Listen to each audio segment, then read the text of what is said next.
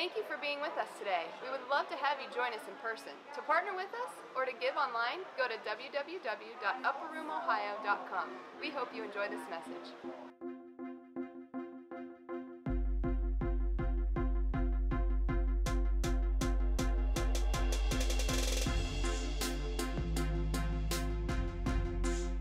All right, last week kicked off a series called His presence transforms blank. And today the blank is going to be marriages and relationships, okay? So if you're married here today, or engaged, or very seriously dating into marriage, give your significant other, your spouse, a kiss right now. All right, instead of amens today, we're going to do kisses. So if you're like, man, Pastor Aaron's preaching good today, and I want to say amen, just kiss your spouse. Just give it a big sloppy kiss, and I'll be like, can I get a kiss? So if I say, can I get, instead of an amen, can I get an amen on that? Can I get a kiss on that? You just kiss. Yeah, you can do it right now. I gave you permission to kiss in the sanctuary in public. Okay? So, PDA, the greatest form of PDA, public display of affection, was Jesus Christ on the cross.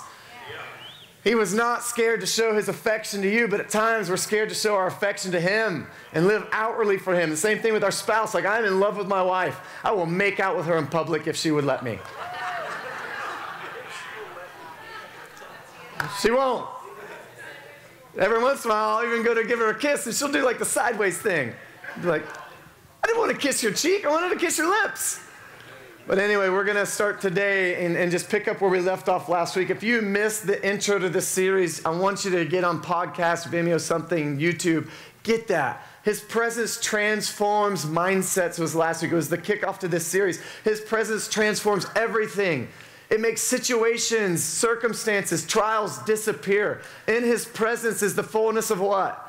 Joy. In his presence, there is peace. In his presence, there is rest. These are some of the scriptures we brought out about his presence. There is fruit in his presence. The same goes for our marriage. When, when, when, when our marriage has His presence intertwined in it, all of a sudden, our, our marriage, there's fullness of joy in our marriage. There's peace in our marriage. There's rest in our marriage. So here's the thing for today you are in different stages of your life. Some of you aren't yet married. Some of you might be dating somebody. Some of you may be engaged. Some may be married. Some may be happily married. Some may be grudgingly married at the moment. Some may be divorced, some may be widowed, but I'm here to tell you God has a plan for you. He's got a destiny for you, He's got a perfect person for you. If, if you're desiring a spouse, the Bible's promise is that as you delight yourself in the Lord, He'll honor the desires of your heart.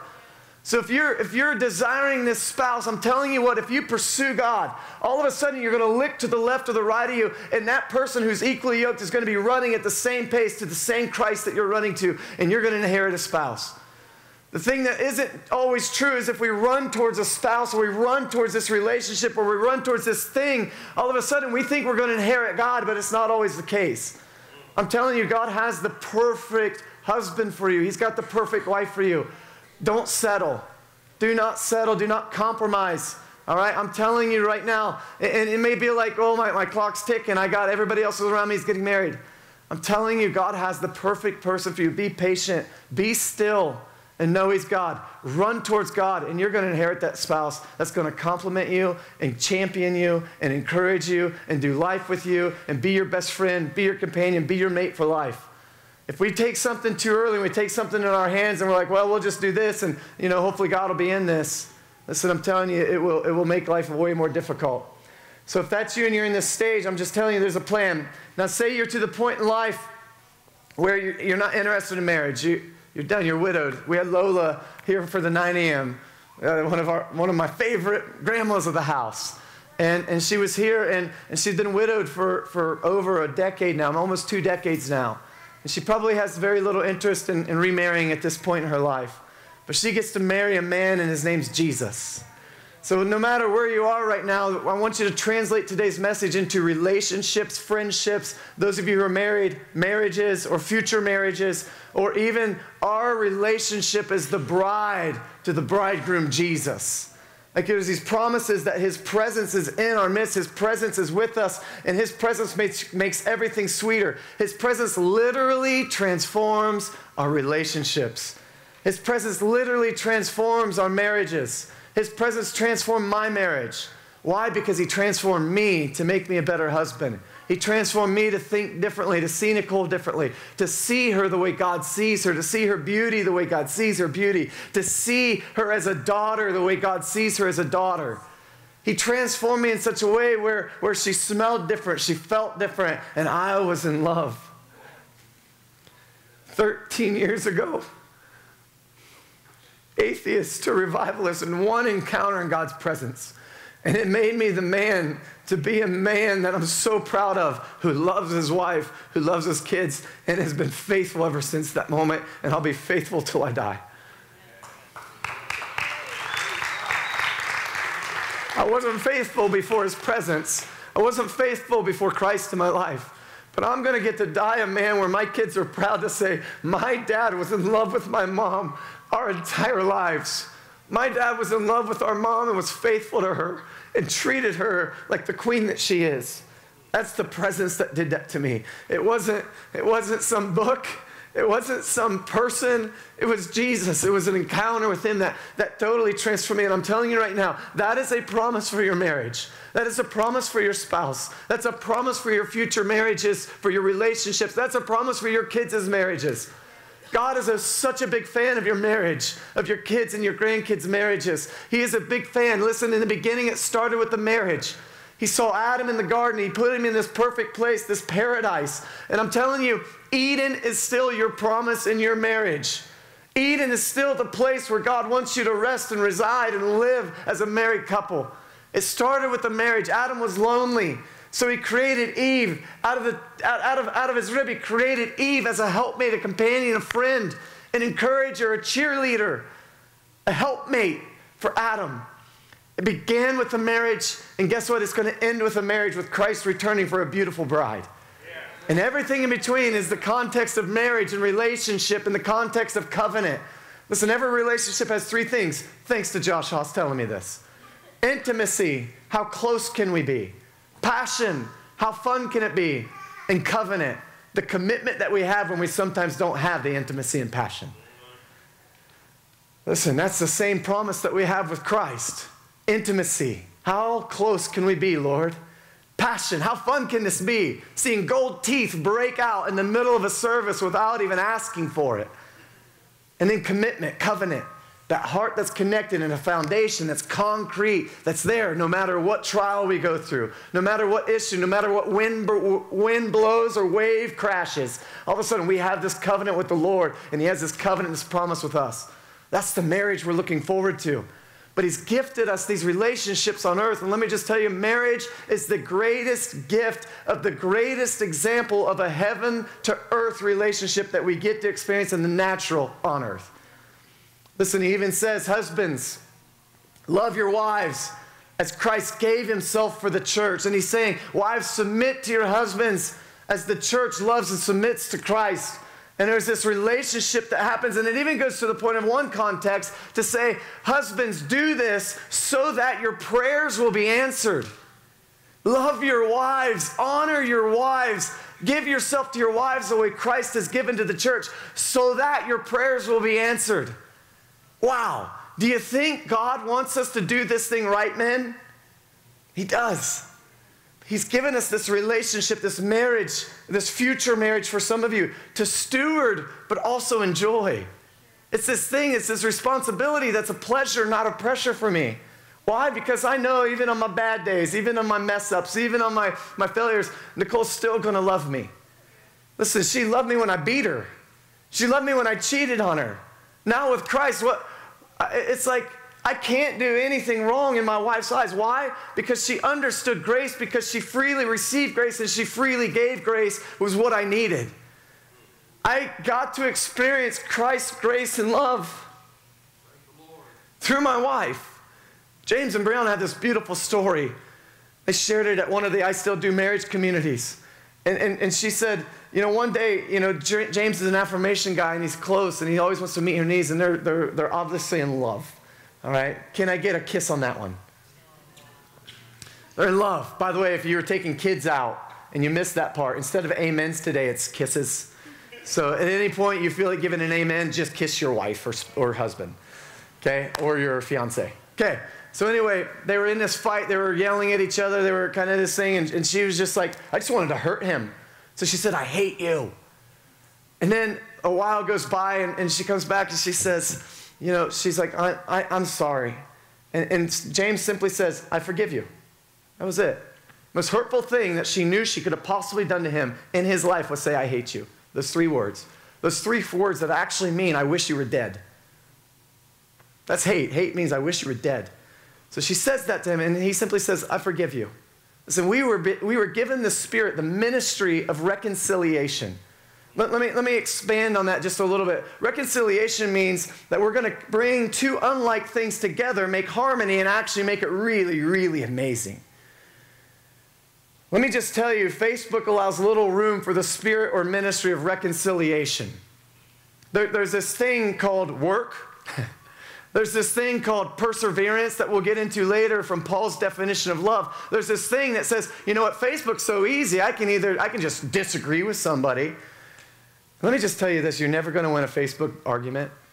Why? Because there's 2.2 billion people on Facebook with a different opinion than you. And let me just say, Facebook doesn't create this, this, this face-to-face encounter where, man, I have the choice here either to fight or to flight. That version is unfollow, defriend. It's like the Facebook world and generation we're growing up in is, is giving us a lack of perseverance to press in to say, no, God's given us the ministry of reconciliation. I need to make wrong things right. I've hurt this person. I actually need to say sorry. I actually need to repent because I was transformed by him. I actually, repentance means to, to, to, to turn away from and think differently. So, this reconciliation puts it on my court to say, wow, I'm responsible for this relationship. I'm responsible to steward it. But then I get to reap the benefits and the rewards and the goodness of this covenant. Let me, let me move on here. Are you liking this so far? Let me give you the divorce stats. I'm just saying today's message is His presence is what's going to transform our marriages. His presence is what's actually going to make a dent in divorce statistics. One in two marriages end in divorce in America, including the church. One in two Christians also end in divorce. But here's astounding numbers that I found on Barna Group a couple years ago, several years ago. This is just proof that his presence, when he is the third strand on that cord, that three cord strand that can't be broken, here's what happens. All of a sudden, when I just attend church with my family and my wife, my divorce statistic goes from one and two to one and 105. Now, if we pray and we worship together and we actually walk with the Lord together outside of Sunday mornings, and we actually do a devotional together and we fall asleep in prayer together. This week, I just, Nicole was already asleep. I come into bed and, and I'm sitting there, she was asleep, and I just felt like the Lord wanted to romance me. And I felt like the Lord wanted romance in our, in our relationship. And, you know, the intimacy and passion has been challenged through a house renovation. We're kind of landing on covenant at the moment. So she's sleeping, she's snoring. She's so beautiful, but she does snore a little bit. This is cute little.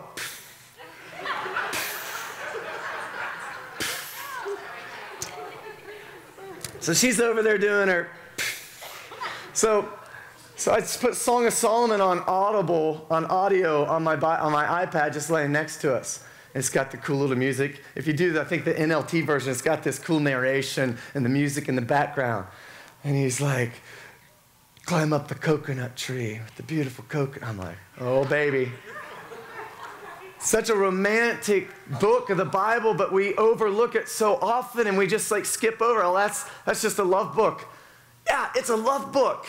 And we need to read that in two contexts. You need to go through that book, front to back of it, and read it in two ways. First off, in your relationship, in your relationship with your spouse. Read it. Imagine, man, this guy's full of love, full of poetry, full of, of creativity and art and the beauty of what marriage can be. And then read it in the context of me as the bride and he is the groom and he's wooing me and he's just romancing me. And he's just he's just calling me into this intimate relationship. Imagine the beauty of that. We get to walk in the fullness, the fullness of what Christ has promised. So we, we get to this place, and, and, and, it's just, then we get to if you actually worship together and pray together, the divorce rate goes from one and two to attending church together, one and 105, to one and 1,155. Why? Because presence is the glue holding you together. Christ, His Spirit, it's holding you together, and that is the, the, that is the foundation. That's the pillar. That's, that's the thing that cannot be broken. Listen, we, we, we come and go, lives change, people pass away, people even leave, unfortunately. People become abusive or, or never change at least, and we think we can change them. This is just amazing to say this is proof that God works and God is a fan of your marriage and God's presence wants to transform it no matter how good it is or how bad it is. How many believe good can always get better? Good can always get great. Listen, we don't want to be a church. We don't want to be a marriage. We don't want to be a people that just survive a, a statistic. We want to thrive. Amen. Amen. Kiss on that one. Listen, I want to I wanna tell you about a book I'm writing. Uh, let me reword that. I want to tell you about a book that God gave me an outline for two weeks ago. I'm sitting in service. I've already been to the 9 a.m. At the 11 a.m., Steve Backlund speaking. It's a similar message. I'm trying to listen. But then all of a sudden, God downloads this entire marriage book to me in every chapter. Can I read you the chapters? Here's what it is. It's called To Us. When my wife and I cheers or put up, you know, like we'll have the girls, we're like, To Us.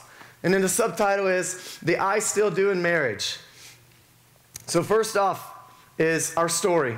Chapter 2, his perspective. Chapter 3, her perspective. Next one, there is hope. Next one, great can be better. Covenant kept us together.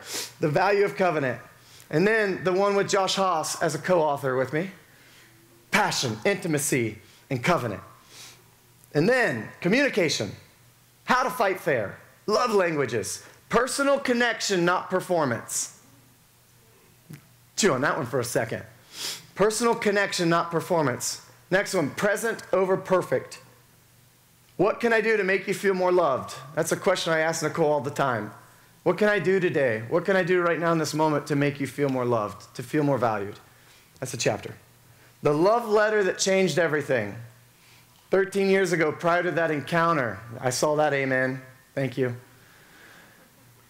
We went to this thing called Weekend to Remember. Family Life Ministries puts it on by James Dobson. And, and it's this thing, and you write your spouse a love letter. And that's your homework today. That's your homework tonight. Write each other a love letter. Just, just a mushy, gushy, good, deep love letter. If you're engaged or pursuing marriage, write your significant other, write your spouse a love letter.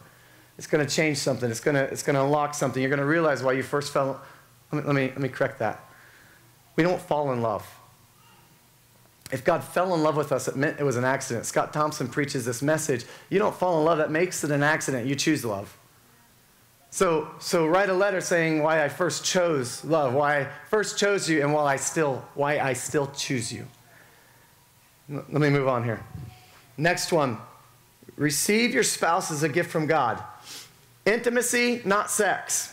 Ending with the last two chapters, my personal favorite titles Porn, the Silent Killer.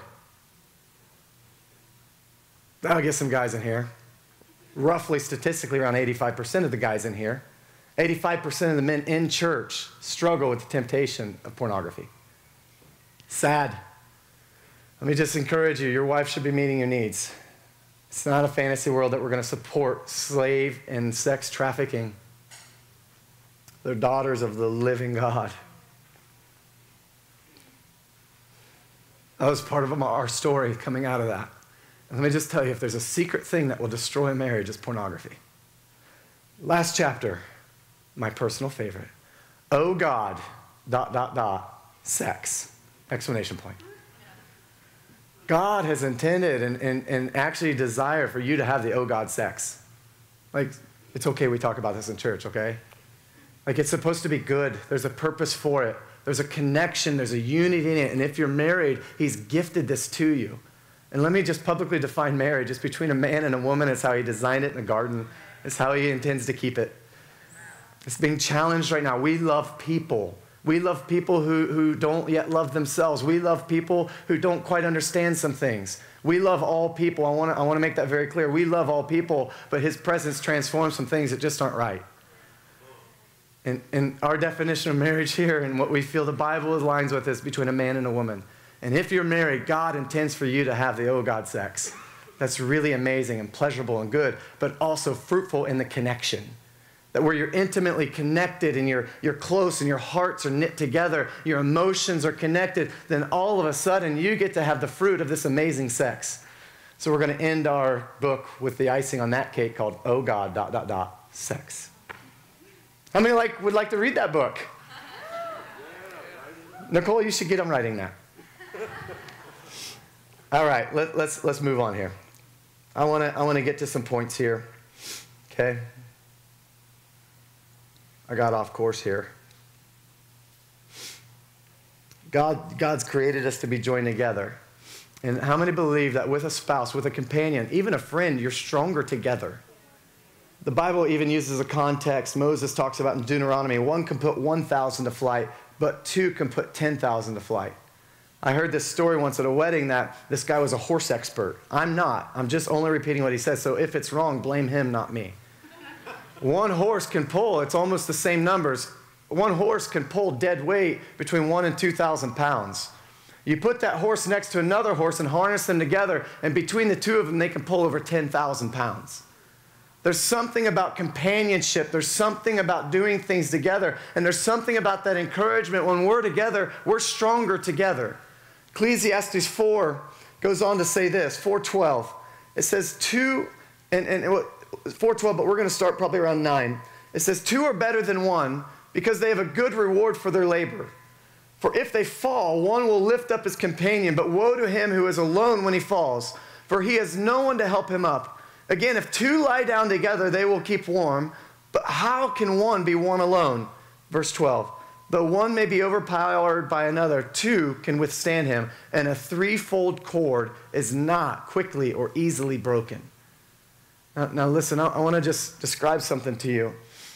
In, in the fire department where I work, and I know Eli and Matt and many, a few of us in here can relate, we can relate that we do rescues, we do rappelling, we do things. We're on these carabiners, we're, we're on these rigs, and we're, we're scaling walls, and we're depending on pulleys, and we're depending on, on these, these systems, and we're depending on the people holding the belays and the, the backups and the safety lines and all this, right?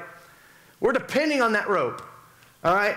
And, and although I'm down to 215 pounds from 274,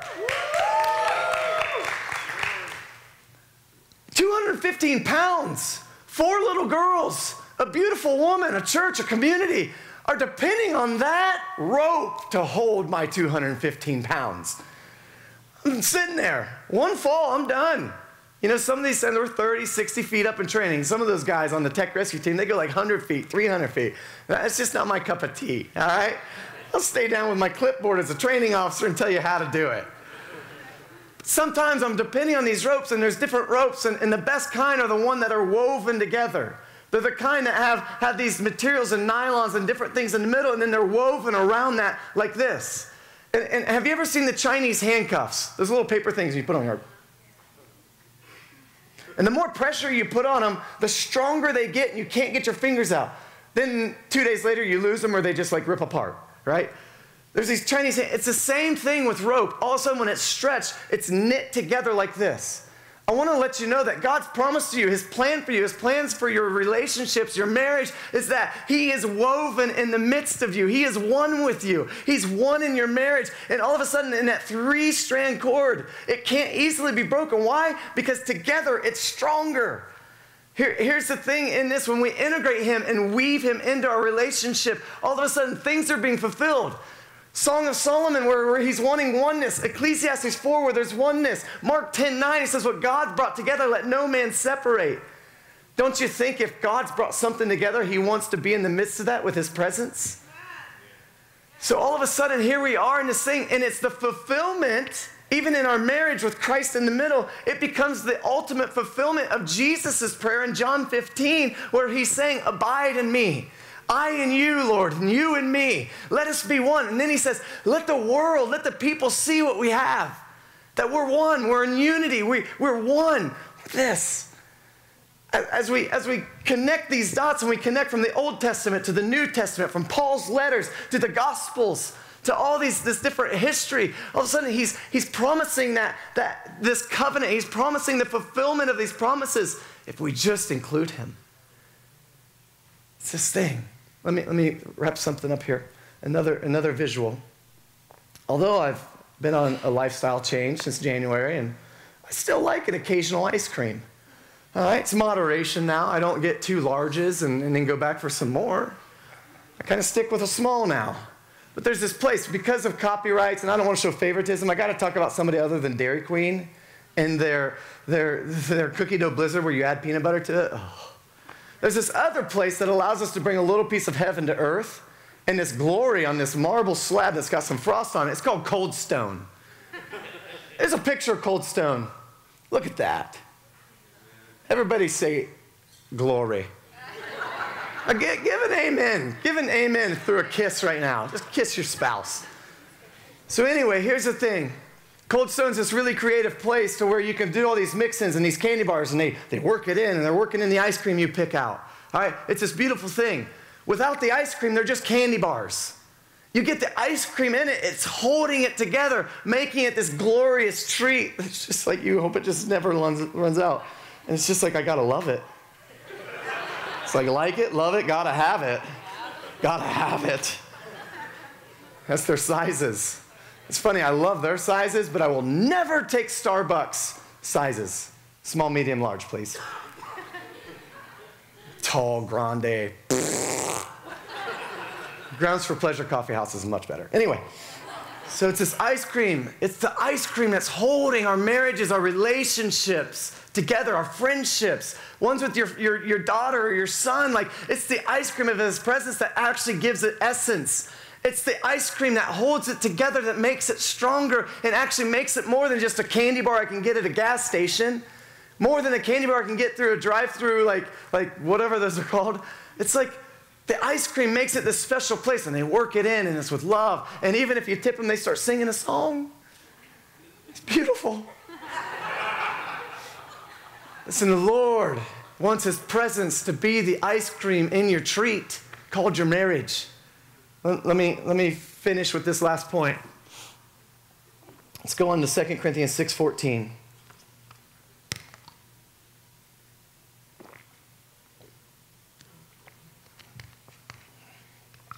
Do you know that his plans for you is always to prosper you, a hope and a future? Doesn't mean there won't be suffering. But do you know his plans are for prosper, hope, and a future?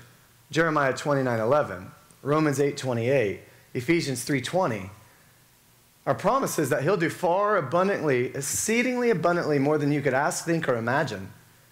Imagine that context in my marriage, in your marriage, in your future marriage. Wow, he's going to blow your minds. Like, I believe you're going to leave this place today, no matter how long you've been married, He's going to blow your mind, and you're just going to be in love all over again, greater than you ever were before with your spouse. 2 Corinthians 6:14 says this, so "Do not be unequally yoked together with unbelievers. For what fellowship has righteousness with lawlessness, and what communion has light with darkness?" Paul, come on, man, get it together. You tell me one point, when with the lawless be lawless.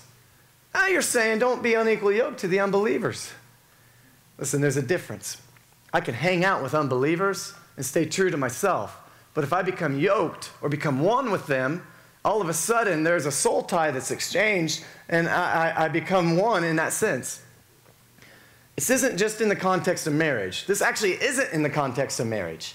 We use it at every wedding almost for that. We talk about to our teenagers, you got to be equally yoked. You run towards God and you look beside you, and whoever you're yoked with, that's who's running the same pace as you. This is for all relationships.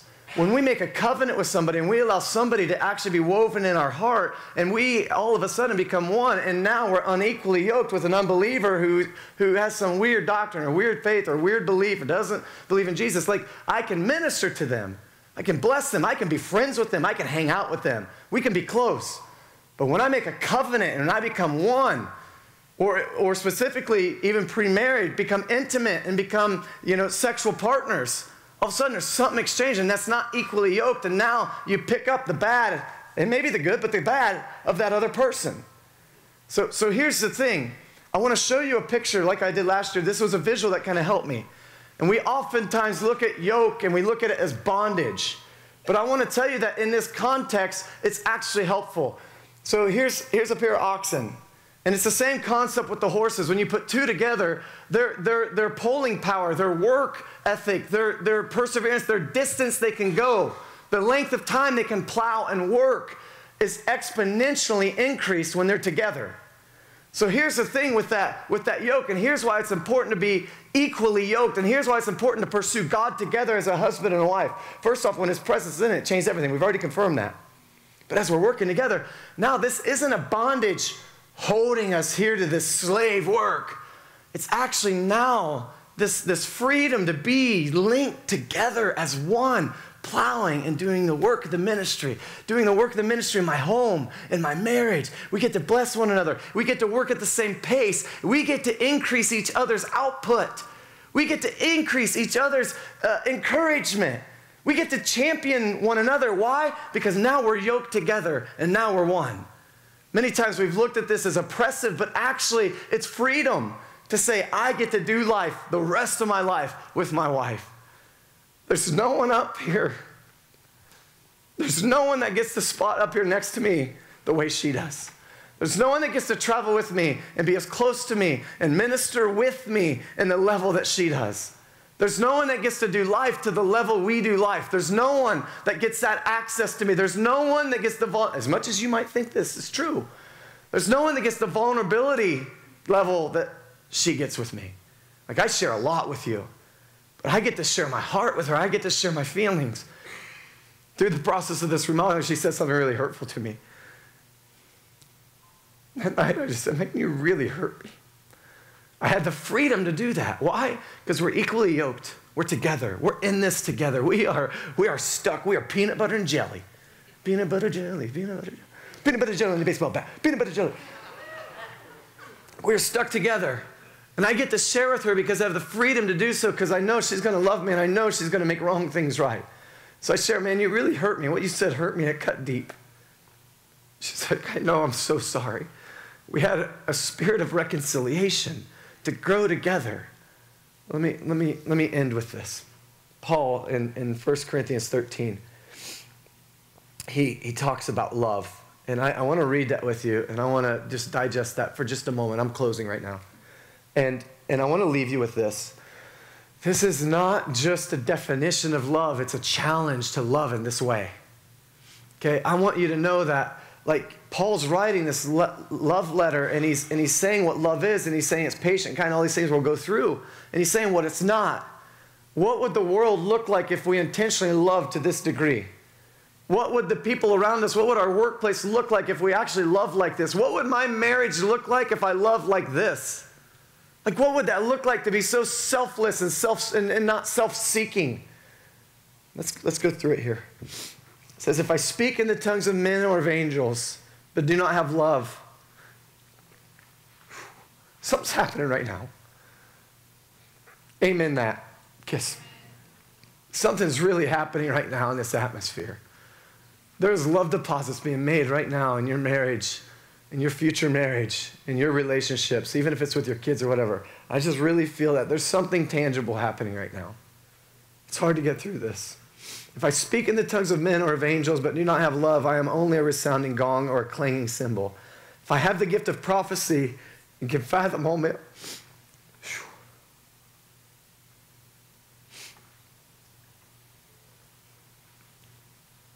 stand with me. Have the music come. You can read that on your own. You, most of you probably know it. Love is patient. Love is kind. Love is not self-boasting. It's not self-seeking. You know, love is not dishonor. Love is as perseverance. Love, it goes through all these things. What if we actually love like that? But I fully believe that God's doing something right now. Why don't you just grab the hand of your spouse? or a friend, if you, if you don't have a spouse with you, maybe a friend you came with. I believe God's doing something in hearts. I believe He's doing something in minds right now. But I believe He's doing something in marriages.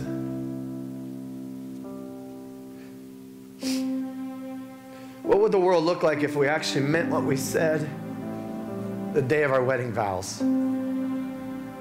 What would the world look like if we applied this love chapter to our life, if we applied the Song of Solomon? What would it look like if, if we applied Mark 10 9, where it says, What God brought together, let no man separate, no distraction separate, let no issue, circumstance, disagreement separate. Many of battles have been lost and won due to lack of communication or due to communication.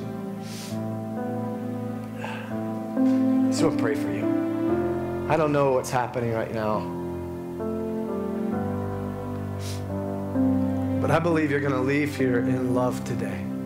More in love with Jesus, more in love with your spouse, more in love with your kids, more in love with your friends. And I think, I think we're going to leave here realizing that, man, His presence does give us the tools to be able to love more. His presence does give us the tools to be able to forgive more. His presence does give us the tools to draw closer to each other and actually communicate openly our feelings rather than talking about somebody behind their back. I believe you're going to leave here today that His presence is going to transform your marriages, your relationships. Let me just tell you, some of you that's been through divorce, there is life after divorce. There is life after divorce. There's still plans for hope, plans for a future for you, plans to prosper you. God wants to release you and allow you to have the forgiveness to you, but also you have forgiveness towards your ex spouse, no matter how traumatic it was. Maybe that boyfriend, maybe that fiance. God's releasing you right now from those oughts. God's releasing you right now from that bitterness. God's releasing you right now from even the hatred. God's releasing you right now from that abuse. He's releasing it. He's, he's, he's burying it on the bottom of the ocean floor. Right now, God's doing some healing and restoration. God's reconciling some things right now. Close your eyes with me. I'm just going to pray for a couple different things here. Anybody who's been divorced, I just want to bless you right now. And I just want to encourage you that there is life after divorce. There is life for your kids after divorce. If this is something you've had to go through and this is something that you had to endure for whatever the reason, I just want to let you know like God loves you. He loves you. He loves you. He may not have loved the divorce, but He loves you. He loves you. He loves you. He loves you. Even Joseph was tempted to, to, to divorce Mary while she was found out to be pregnant.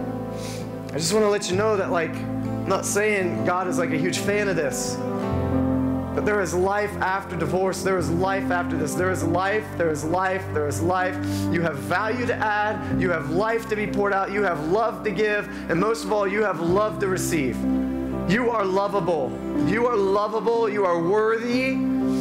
You are not less than. God's healing you right now. God's healing you. God's healing you. He's allowing you to forgive right now. I want to pray for any pre married people right now. There is a plan for you, there is a spouse for you. And let me just tell you there's the spouse that's absolutely not for you. There's this 30 fold spouse, there's the 60 fold spouse, but then there's the 100 fold spouse. And let me just tell you, if you don't settle, God has a plan for you for the hundredfold return. Like He does. You might still be blessed, and, and let me just tell you, if you if you're like, oh man, maybe this wasn't the one. No, if you're married right now, that's the one. If you're married right now, we're praying hundredfold return today. Like if you're married right now, that's your lifelong partner right now. But those of you who aren't married yet, like God has the perfect husband for you, the perfect wife. He's raising them up. He's, he's giving them every trait that you need to be loved, to be cherished, to be championed in Christ. Like, like God's doing this thing right now. Just be still and know He's God. Just run towards Him. Run towards Him in His embrace. Let Him fill your loneliness.